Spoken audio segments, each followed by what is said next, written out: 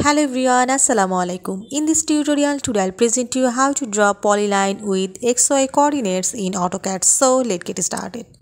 Firstly, I open Microsoft Excel to my coordinates and this is X coordinates and this is Y coordinates. And now I copy these XY coordinates in this Excel file. Just drag on the mouse and copy this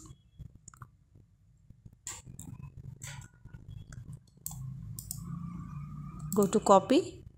And now I open a notepad new file and now paste this. This is my xy coordinates and now I want to make these coordinates in click keyboard backspace and keep a comma.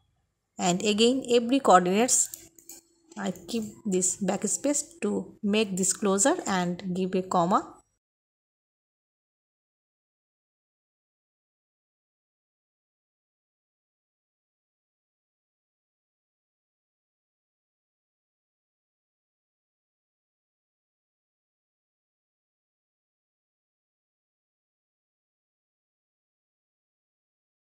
I make comma with these xy coordinates in notepad. Now I go here in this AutoCAD and go to set up this units. So UN and press enter to set these units in my AutoCAD drawing.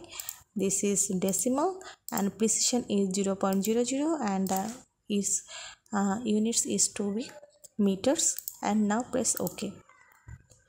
Now I type the command PL for polyline and press enter now go to here in notepad and copy all these coordinates. So press this ctrl a to select this and ctrl c to copy and then minimize this and go here in this polyline in this spacebar and press ctrl v to paste it. And now you have to press enter again. And then you have to press z enter and a enter to zoom this and this is my drawings. So this is my xy coordinates in using with this polylines in AutoCAD.